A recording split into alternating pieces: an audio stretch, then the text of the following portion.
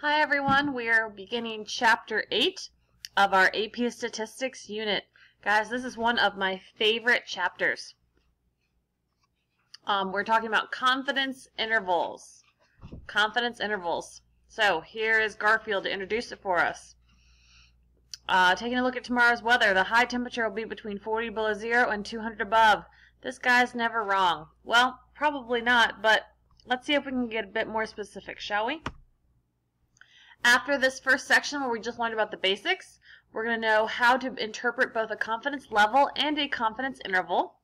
We're going to describe how it gives a range of plausible values. We're going to talk about the conditions that are going to be necessary if we want to construct confidence intervals. And then um, talk about practical issues that can affect the interpretation. So this is a really big transition. In this last chapter, in chapter 7, we assumed that we knew the true value of the parameter, right? We assumed we knew p, we assumed we knew mu, the population mean. And then we asked questions about the distribution of the statistic used to estimate that parameter. But now we no longer pretend to know the true value. We're going to start with a more realistic situation where we know only the value of a statistic, right, from a sample, and then use that to estimate the value of a parameter. So where's a good place to start? A point estimator, right? That's going to be a statistic that provides an estimate of a population parameter. So the point estimate is going to be the value of that statistic from a sample. Ideally, it's our best guess at the value of an unknown parameter. So the point estimator can be a potential mean, standard deviation, IQR, median, whatever you want to know about. Okay? Now, chances are that the point estimate isn't exact, right? Hence the name, estimate. So in order to be more exact, we would find an interval of possible values for this unknown parameter. So let's talk a little bit more about point estimators. We have two examples. A golf ball manufacturer would also like to investigate the variability of the distance traveled by the golf balls by estimating the interquartile range. The math department, for B, wants to know what proportion of its students own a graphing calculator. So they take a random sample of 100 students and find that 28 own a graphing calculator. So what would be the point estimators here? Well, in A, we want to figure out the true IQR, so the best place to start would be the sample IQR. For B, if we want to know the population proportion, the best place to start would be the sample proportion, p hat, okay? In this case, that p hat equals 0.28. So best estimate for p is p hat of 0.28. So if you want to know something about the population parameter, start with the sample statistic. All right, lots of important information here. Very, very, very, very, very, very important. So many stars should go around this, highlight this, put a box around it. This is important information. If I have a confidence level, right? Some people say, oh, I'm, you know, 20% confident or I'm 100% confident. We'll never say 100%.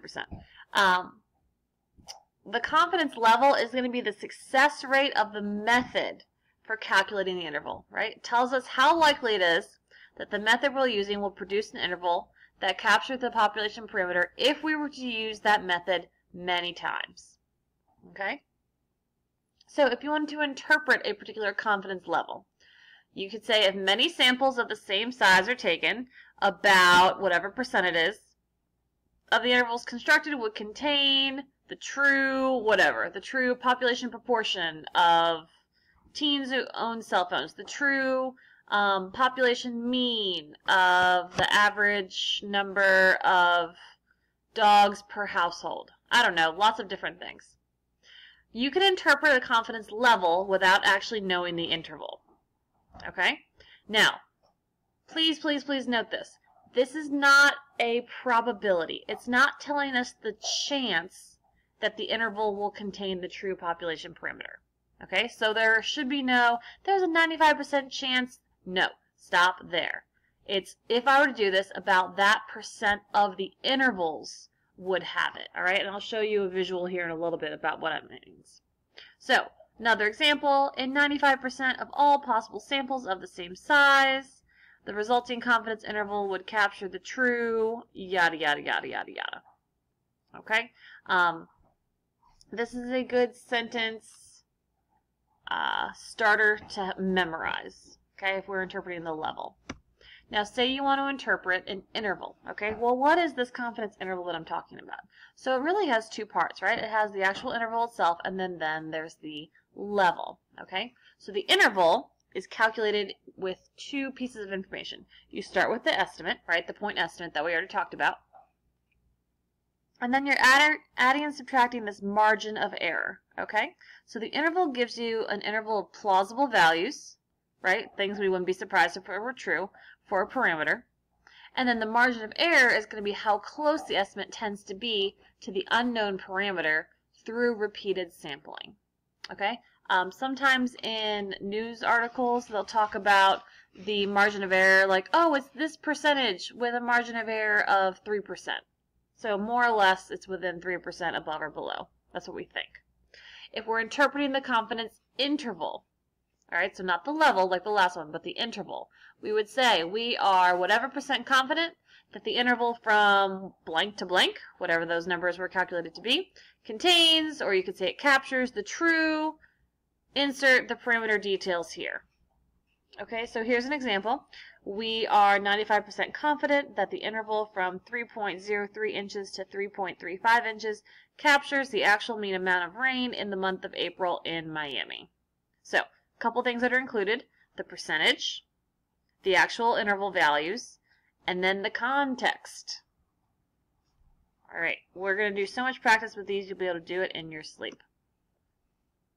Now, the general formula. This section, we're not actually going to be calculating the intervals themselves. Um, those will be the next two sections. One section will be confidence means, or intervals for um, population means, and one will be intervals for population proportions.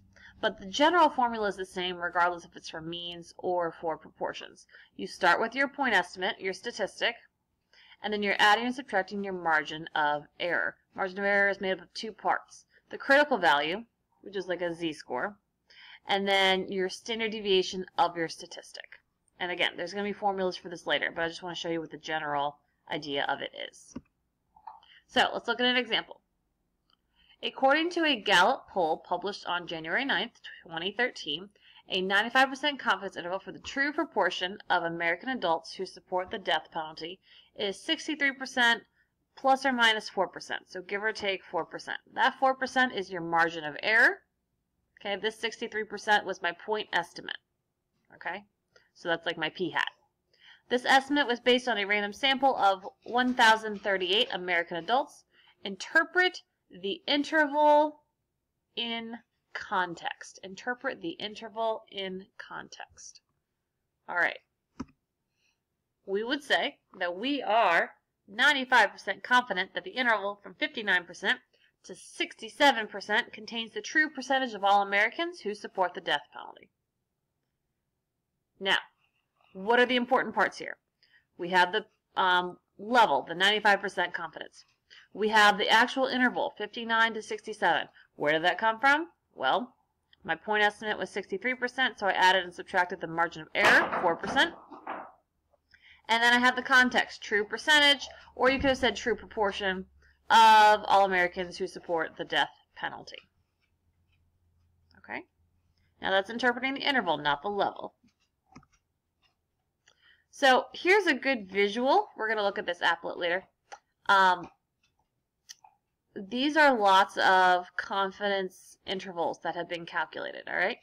If your true value of the population mean is here at mu, the red dot signifies the point estimate, and then the green line is the interval. You can see that most of these intervals contain this value of the population mean, except for this one right here.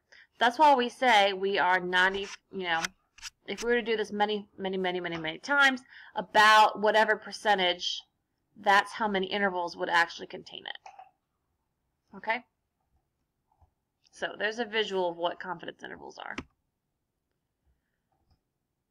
So why is it 95% instead of 100%? Well, if we were 100% sure, then we'd say there is a mean or there is a proportion. The proportion of people who own cell phones is somewhere between excuse me, 0% and 100%. That doesn't really help us too much. So we want to be sure, but without being overly sure, as in including way too many values, right? Because then it's just going to be, why would you even bother doing the math? Um, page 475 of your textbook has some really good thoughts there. Um, some of those include the fact that the confidence level is not the chance that the confidence interval captures the parameter. Right? I said that before and I'll say it again. It's not the chance. Also, the confidence interval gives us plausible values of the parameter. So we wouldn't be surprised if any of those values actually turned out to be the truth. All right, another example. According to a Gallup poll uh, back in 2010, 95% confidence interval for the true proportion of Americans who approve the job Barack Obama was doing as president was 0.44 um, plus or minus 0.03. So 44% was my p-hat, give or take a margin of error of 3%. Interpret both the level, confidence level, and the confidence interval. Okay, so interpreting the confidence level. If many samples are taken, about 95% of the intervals constructed would contain the true proportion of Americans who approve Obama's presidency. So notice how I'm just saying, if many samples are taken. And I don't have the 44% or the 3% anywhere in this. You don't need to include those when you're interpreting the level. But you do include those when you're interpreting the interval, right? We are 95% confident that the interval from 41% to 47% captures the true proportion of Americans who approve of Obama's presidency or who approve of the job he was doing, right? Context. All right, let's see if we can wrap this up.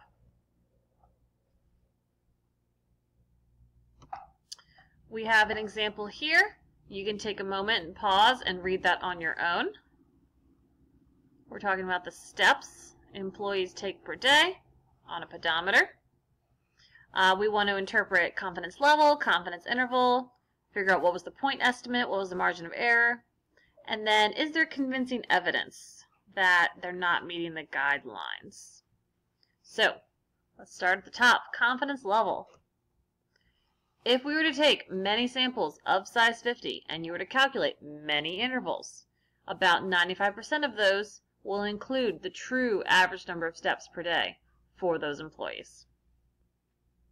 So notice how I don't actually include what the interval is. That comes here when we interpret the interval. We are 95% confident that the interval from 45-47 steps to 84-73 steps, notice again, using context here, I said steps, contains the true average number, or I could say the true mean number of steps per day for employees. Now, point estimate, margin of error. Well, the point estimate is going to be in the middle of that interval, right? So you basically just average the endpoints to figure out that the point estimate was 6510. That was my sample um, mean, my x bar. Margin of error is going to be how far it is from that point estimate to one of the endpoints. So once you know that point estimate, just figure out the distance, aka the difference, between one of the endpoints of my interval and the point estimate in the middle. Evidence of not meeting the guideline. So since our guideline was to, you know, be 10,000 steps, which is so many steps, since I want to have 10,000 steps and my values went from, what, 45, 47 to 84, 73, it seems pretty convincing that the employees on average are not meeting this guideline. Okay? So here is one more example. And um, and here in a second, I'm going to show the answers to this, but I would really like for you to try this on your own. Okay? Uh, the next video is going to contain some of the conditions that need to be done in order to complete confidence intervals. So here are the answers to that last one. Try it on your own, though, before you just copy it down. And we'll talk more in the next video.